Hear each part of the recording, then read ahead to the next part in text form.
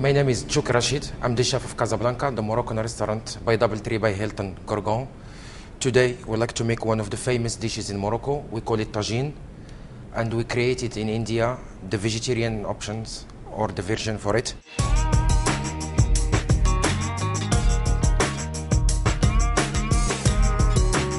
The first, we need to have tagine. If you don't have this tagine pot, we can use a normally pot for cooking.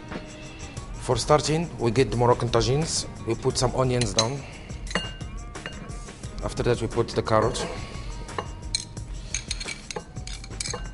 And we can arrange the potato.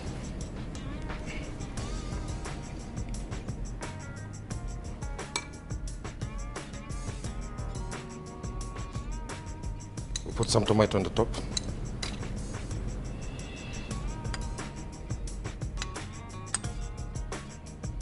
Some chickpeas. We put some soak chickpeas, green beans.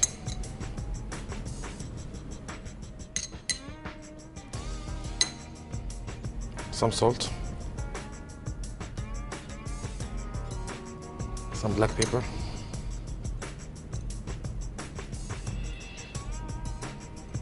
ginger powder,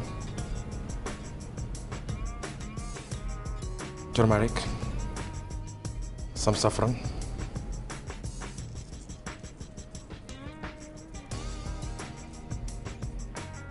some olive oil.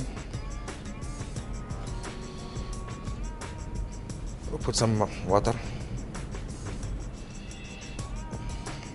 Just we put a little of the garlic on the top to get the aroma. and some lemon.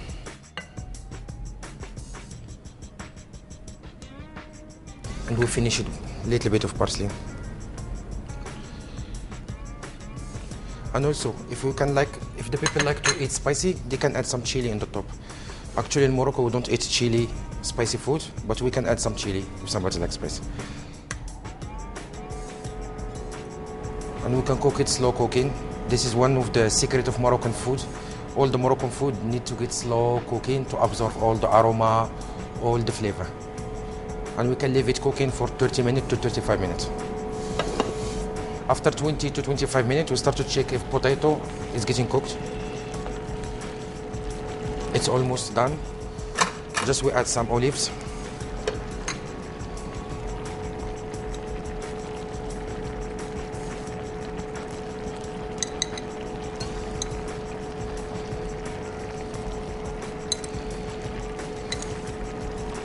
And we'll reduce the heat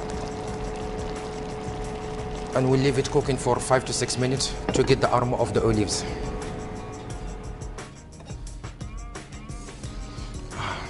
It's nice, look nice. It's already done. We can serve it with the bread or some steamed couscous.